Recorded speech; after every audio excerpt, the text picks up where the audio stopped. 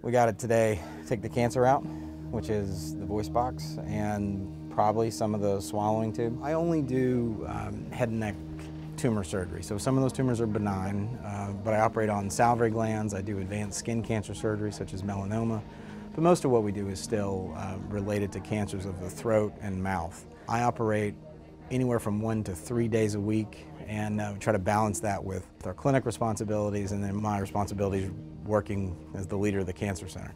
And if we get all that done, then we'll get you out of here as quickly as we can. I do spend a lot of time reviewing the patient's chart, looking at their CT scans, thinking about the approach, and really running through the operation a couple of times in my head. I talk to the residents about the cases every night uh, before we operate together. You know, we try to have no surprises. It's another example of, of how we really need the team to deliver uh, great cancer care.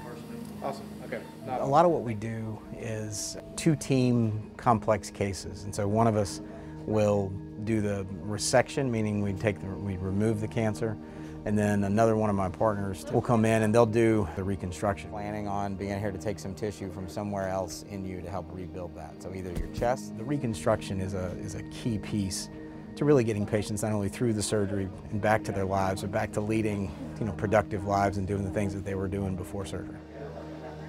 We built this expansion, started designing it probably four or five years ago. We've been able to expand the space to really reflect not just the treatment, but the recovery, rehabilitation, get back to normal aspects of cancer care. You know, I went into cancer care because of the relationships. It's difficult work, but at the same time, you develop long-term relationships with patients. That's who her husband's how he actually got it. He got it at work. You know, it may be easier to develop a relationship with someone without a mask via a video connection than it is with a mask in person. Telehealth allows you to make those connections. Number one, it, it, it seems to be making things easier for patients.